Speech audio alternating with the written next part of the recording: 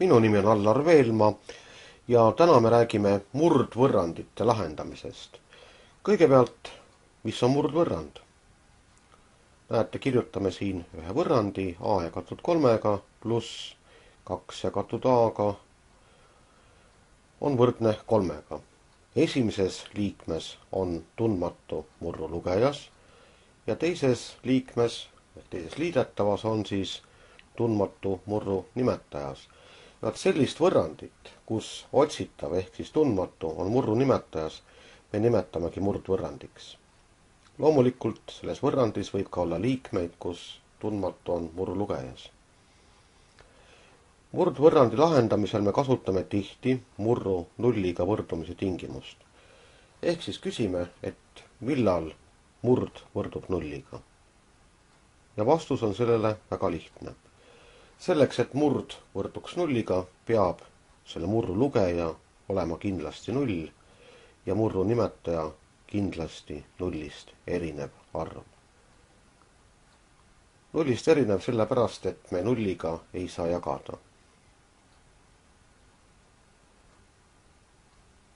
ning kui me hakkame murdvõrrandeid lahendama ja saame lahendid kätte, siis jätame meelde, et murdvõrrandid on sellised võrrandid, mille puhul me peame kindlasti tegema lahendite kontrolli. vastasel juhul võime me kirjutada vastusesse mõne sellise lahendi, mis tegelikult ei olegi lahend. ja täna me selliseid juhtumeid ka näeme, nii et lahendame ka mõne võrrandi, kus siis saame nii-öelda võõrlahendi. missuguste meetoditega me selliseid võrrandeid lahendame? Vaadake, vasakul pool on murd ja paremal pool on ka murd. kaks murdu on omavahel võrdsed. kui kaks murdu on omavahel võrdsed, siis me tihti kasutame ju võrde põhiomadust ehk siis siseliikmete ja välisliikmete korrutis on omavahel võrdne ja mis pidi me küll nüüd korrutise esimesena võtame, on siin küll nüüd täiesti ükskõik. nii et näete, kui A jagatud B-ga on sama, mis C jagatud D-ga, siis A korda D on B korda C. teises võrrandis on asjad natuke teistmoodi, näete, on kahe murru summa. ilmselt me peame siis tegema teistmoodi, aga me kohe siis sinna jõuame nii et näete, kõigepealt selle esimese murdvõrrandi lahendame siis võrde põhiomadust kasutades. kaks korda sulgudes kolm x-i pluss neli on sama, mis kolm korda kaks x-i miinus kolm sulgudes.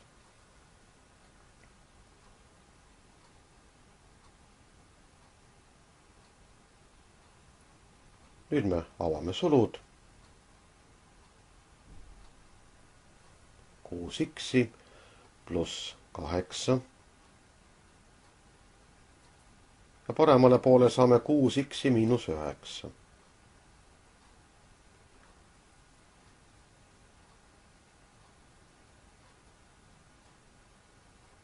X-iga liikmed toome vasakule, arvud viime paremale, nii nagu tavaliselt oleme seda teinud vasakule poole tuleb siis nüüd kuus X-i, miinus kuus X-i ja paremale poole miinus üheksa, miinus kaheksa. kuus X-i miinus kuus X-i on null X-i. või siis lihtsalt võite kirjutada nulli sinna ja paremale poole saame miinus seitseteist. ja te näete, et see võrdlus päris kindlasti ei kehti. null ei ole võrdne miinus seitsmeteistkümnega me saime mittekehtiva võrdluse. ja see tähendab meie jaoks nüüd hetkel siis seda, et meie murdvõrrandil lahendeid ei ole. et võime siis kirjutada rahulikult, lahendid puuduvad või lahend puudub.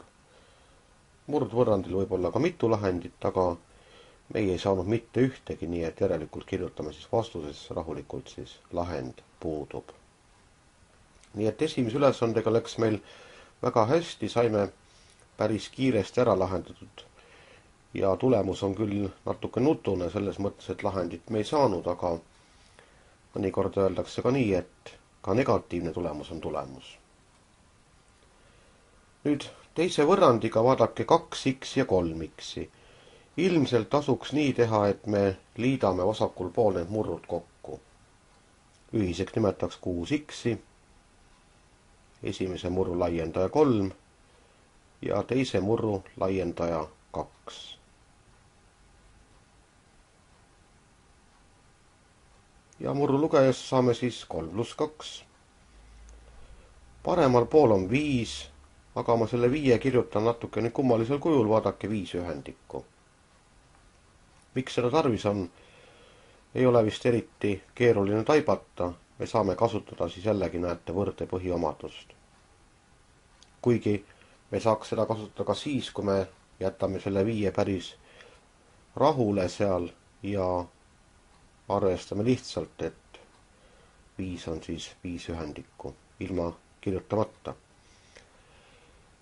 kuus x-i korda viis, kolmkümmend x-i ja paremale poole saame arvu viis, sest üks korda viis on viis. Võrdluse mõlemad pooled jagame arvuga, mis on x sees ehk kolmekümnega. viis kolmekümnendikku seda murdu me saame taandada. ja tulemuseks saame ühe kuuendiku. nii nagu meil jutt oli, teeme siis lahendi kontrolli. ehkki siin on üsna selge, et see üks kuuendik võõrlahend meil olla ei saa. aga ega me ju seda ei pruugi ju teada. nii et lahendi kontroll igaks juhuks, et ei oleks halbu üllatusi meil. et kirjutame äkki siis vastusesse lahendi, mis tõepoolest meil tegelikult ei sobi. lahendi kontrolli teeme niiviisi, et arvutame vasaku poole väärtuse välja ja võrdleme siis parema poole väärtusega, sest see on meil teada. X-i asemele kirjutame siis ühe kuuendiku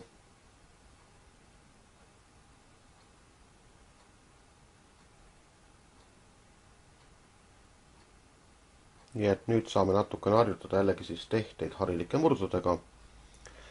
kaks korda üks kuuendik, üks kolmandik.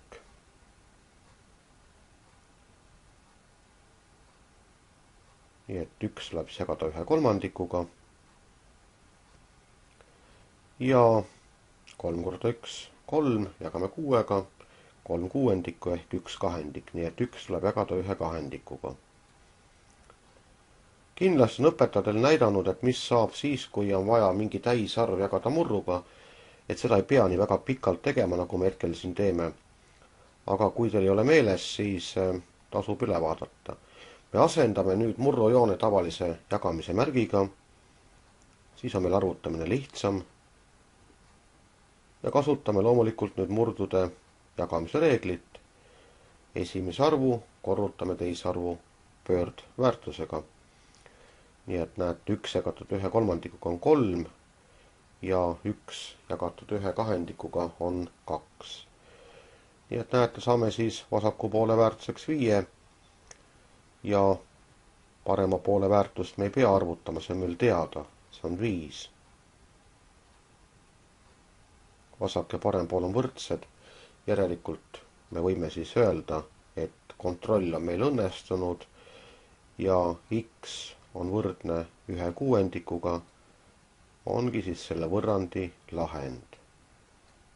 nii et näete, vasak ja parem pool on võrdsed, pannakse veel kirja siin.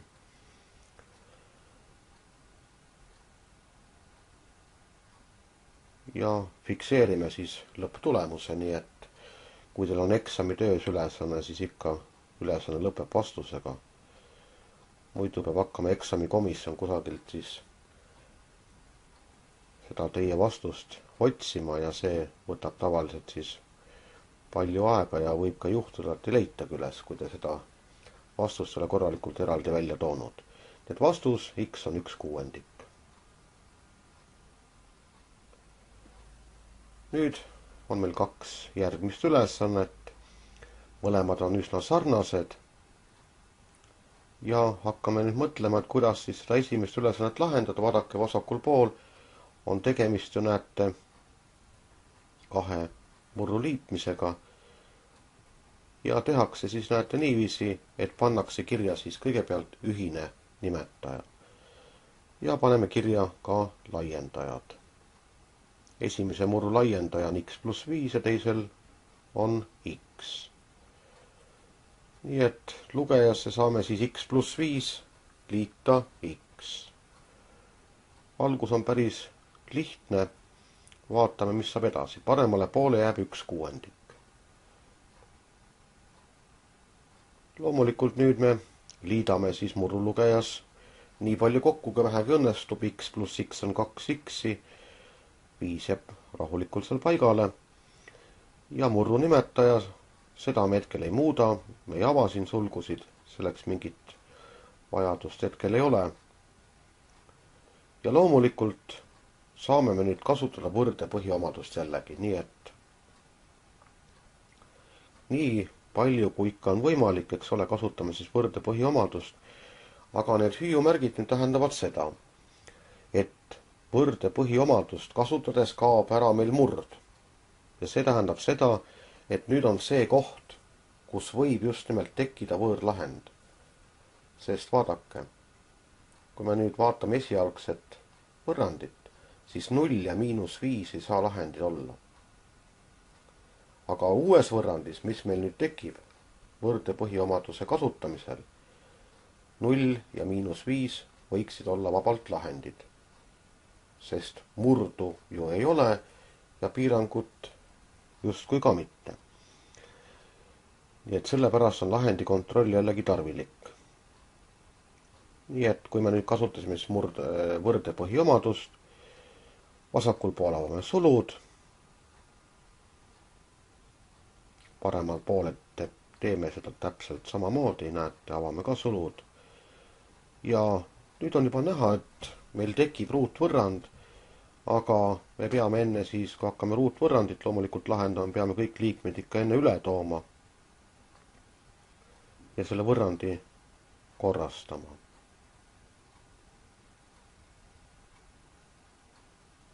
X ruut, nüüd viiest X-ist lahutame kaksteist X-i saame siis miinus seitse X-i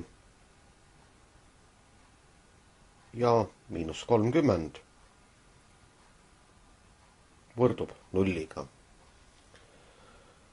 taandatud ruutvõrrand ja loomulikult lahendame seda taandatud ruutvõrrandi lahendi valemiga, nii et üldist lahendi valemit me siin küll ei kasuta, see ega see ei oleks viga, aga saab ju lihtsamalt. X-i eesolevast arvust x-i kordajast võtame siis pool vastupidise märgiga ehk siis kolm ja pool. nüüd võtame kolm koma viis ruutu, kaksteist koma kakskümmend viis ja vaba liikme lahutame. aga kuna vaba liige on miinusega, järelikult liidame. kolm koma viis pluss miinus ruutjuur all on nelikümmend kaks koma kakskümmend viis. ja ruutjuur sellest on kuus koma viis. Et kui seda ruutjuurt juba teate peas, siis võite Excelil ka kohe kirjutada. kui ei tea, siis peab loomulikult arvuti abi kasutama. liidame kokku kolm ja pool, kuus ja pool, saame kümme. nüüd kolme koma viiest lahutame kuus koma viis tulemuseks saame siis miinus kolm. nii et meil tekkis kaks lahendi kandidaati, võib siis nii öelda, me veel ei tea, kas need lahendid on või ei ole. Nimetame siis neid tagasihoidlikult hetkel siis lahendi kandidaatideks. ja nende lahendi kandidaatidega tuleb meil teha siis nüüd kontroll. kuna neid on nüüd kaks tükki, siis me teeme järgemööda mõlemaga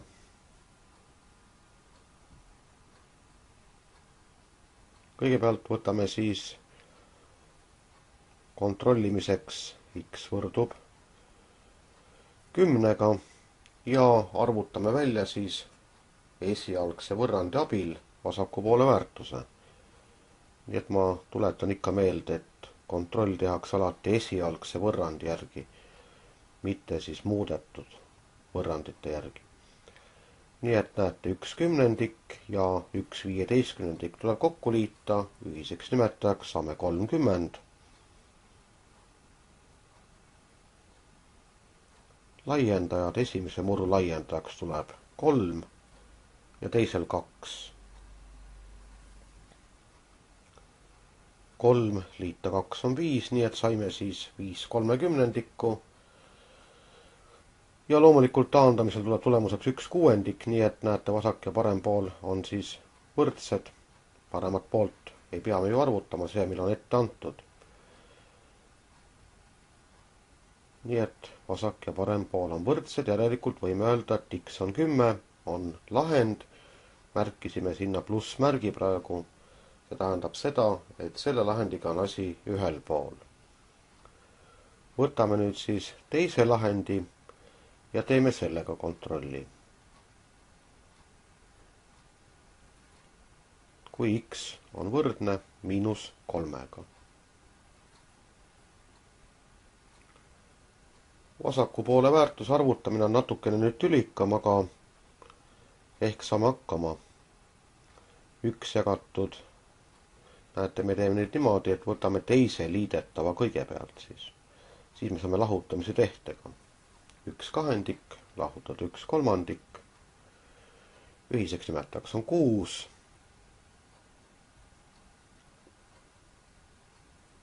ja parema poole väärtus näete siis tuleb meil üks kuuendik, täpselt nii, nagu ta oligi antud meil. ja loomulikult vasak ja parem pool on võrdsed, me isegi seda siia ei kirjutanud. oli täitsa arusaadav, et see nii on. eksamitöös loomulikult tasuks siis igaks juhuks kirjutada. mõlemad lahendid sobivad, nii et näete, siis kirjutamegi. ja ma panen siia nüüd küll kolm punkti, see tähendab seda, et ma neid arve enam uuesti ei hakka kirjutama selliste mõnu teie eksamil loomulikult tunda ei saa, peate kirjutama lahendi välja. hakkame lahendama teist võrrandit. me võiksime teha täpselt samamoodi, nagu me tegime siin esimese võrrandiga, aga teeme hoopis teistmoodi. nii et näete, sarnaseid, väliselt sarnaseid võrrandeid võib lahendada tegelikult erinevate meetoditega. kindlasti tehke endale need meetodid selgeks, sest et kui lähete keskkooli, siis peab nii üht, teist kui kolmandat oskama. ja siin me teeme niiviisi, et me toome arvu kaks paremalt poolt vasakule, siis paremale poole jääb null. ühiseks nimetajaks tuleb meil x korda x pluss neli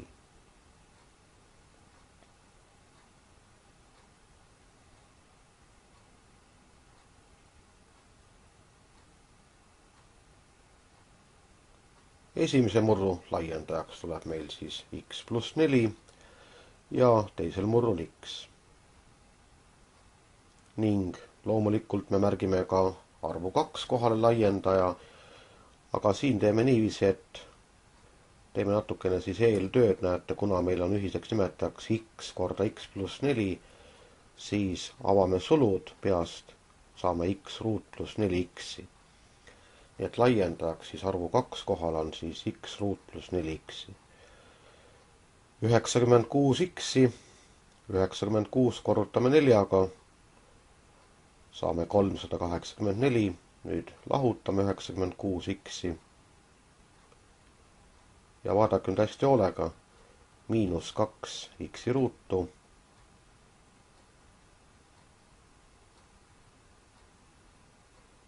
ja miinus kaheksa x-i.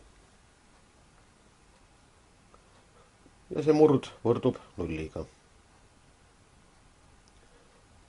murru nimetajat me ei muuda, ei ava sulgusid. lugejas loomulikult me teeme niiviisi, et koondame nii palju, kui vähegi õnnestub.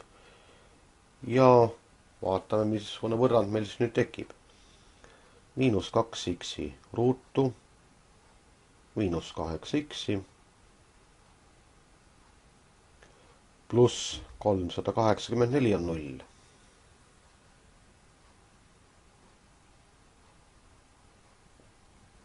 natukene küll kiirustasin, ütlesin, et ta võrdub nulliga, aga me kohe sinna ka jõuame, vaadake, asi on ju selles, et kui murd võrdub nulliga, siis murru lugeja peab olema null. nii et näete, nüüd oleme siis selle võrrandi korrastanud ja ongi see murdvõrrand meil sellisel kujul, et näete, me saame kasutada siis murru nulliga võrdumise tingimust.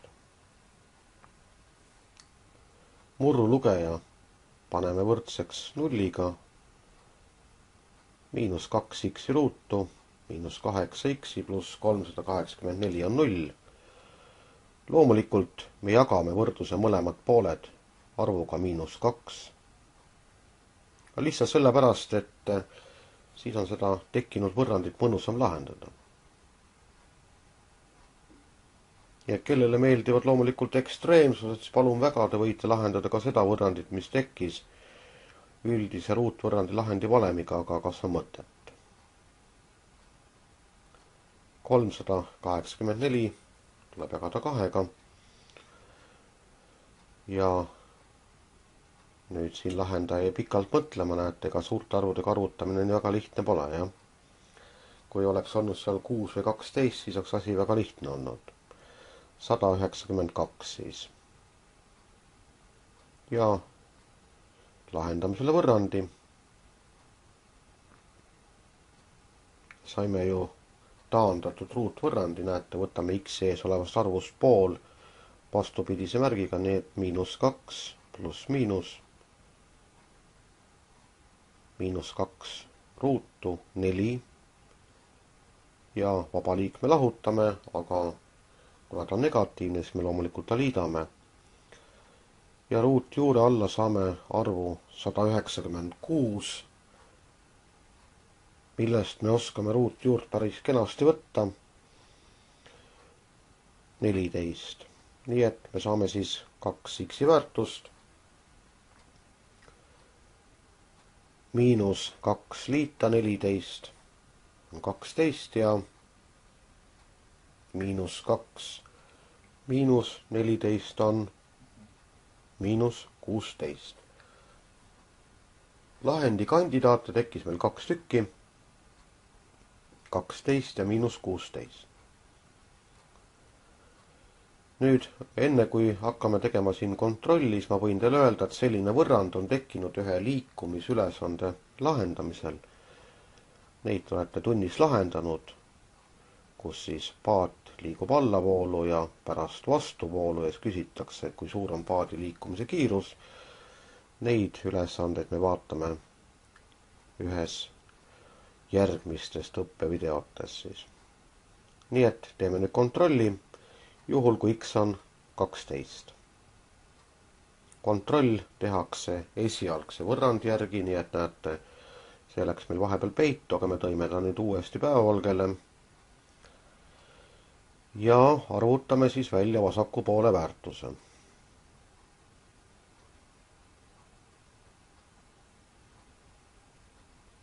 vasaku poole väärtus üheksakümmend kuus jagatud kaheteistkümnega pluss, vabandust, miinus oli seal jah, üheksakümmend kuus jagatud kaksteist liita neli, kuusteist, nii et jagatud siis kuueteistkümnega üheksakümmend kuus jagatud kaheteistkümnega on kaheksa ja üheksakümmend kuus jagatud kuueteistkümnega on kuus. kaheksast kuue lahutamisega saame hakkama, see on kaks.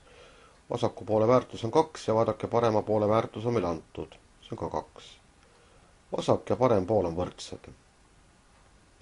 järelikult x on võrdne kaheteistkümnega, on esialgse võrrandi lahend.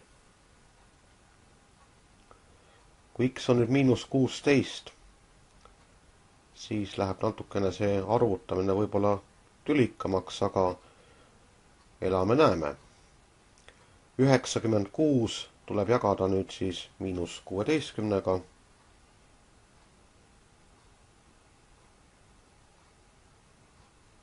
ja lahutame siis üheksakümmend kuus ja vaadake, nüüd paneme X-i asemele siis miinus kuueteistkümne, saame siis ilmselt sinna miinus kaksteist.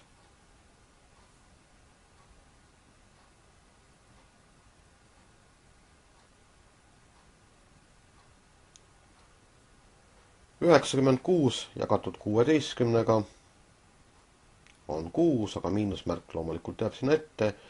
ja nüüd näete, need topeltmiinused annavad meile kenasti plussmärgi. nii et miinus kuus liita kaheksa on kaks, vasaku poole väärtus on kaks ja parema poole väärtus on endiselt kaks, ega see vahepeal pole ju muutunud. näete, võrrandis on ju kirjas, parem pool on kaks. nii et saimegi, näete, vasak ja parem pool on mõlema lahendi korral võrdsed.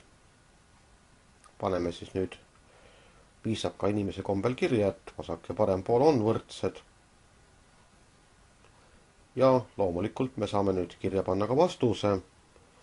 nii et siis vastus. ja vastusesse kirjutame siis näete, et üks lahend on meil kaksteist ja teine lahend on miinus kuusteist. mina hiilin jällegi sellest kirjutamisest kõrvale lihtsalt hoian veidi siin pliiatsid kokku, aga loomulikult teie panete siis vastuse eksamitöös kirja